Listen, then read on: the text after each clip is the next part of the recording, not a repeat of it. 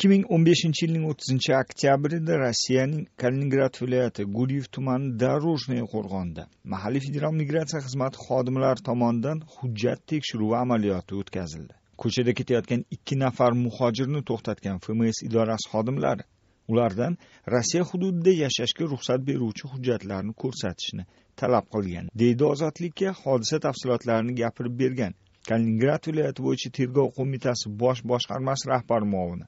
Adliya polkovnigi marianna андрюшина. Вот этот плановый рейд проводили сотрудники миграционной службы. По обращению были какие то жалобы жителей поселка дорожное куда они выезжали.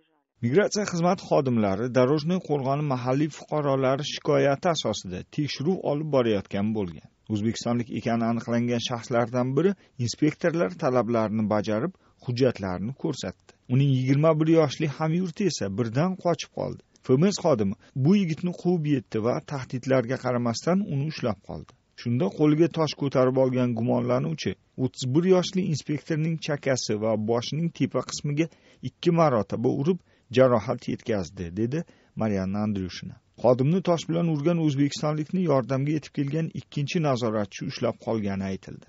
Hozirga kelib tergovchilar taqdim etgan ma'lumotlardan yigirma bir yoshli o'zbek muhojiri kaliningrad viloyatida ikki ming o'n ikkinchi yildan buyon yashab kelayotgani reyd vaqtida uning patenti muddati o'tib ketgani ma'lum bo'ldi. U qo'lga olingunga qadar mahalliy qurilishlardan birida ishlab kelgan ekan. Tergov qo'mitasi vakilasi hozircha ismi oshkor etilmayotgan o'zbekiston fuqarosiga nisbatan tekshiruv ishlari olib borilayotgani sud tibbiy ekspertiza fms xodimiga yetkazilgan jarohat darajasini aniqlayotganini aytadi. Это первый случай у нас в отношении такого рода применения насилия в отношении сотрудников миграционной службы. to'g'risi bu migratsiya xizmati xodimiga nisbatan qilingan birinchi bunday zo'ravonlik.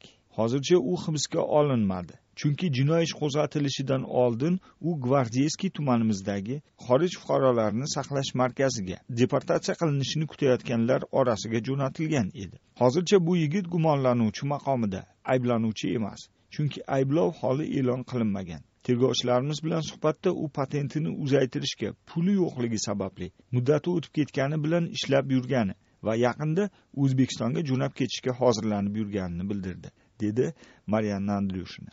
Migratsiya xodimiga qarshilik ko'rsatgan va boshini urib yorgan migrant hozircha rossiya federatsiyasi jinoyat kodeksining hukumat vakiliga nisbatan sodir etilgan zo'ravonlik moddasi asosida jinoiy javobgarlikka tortildi.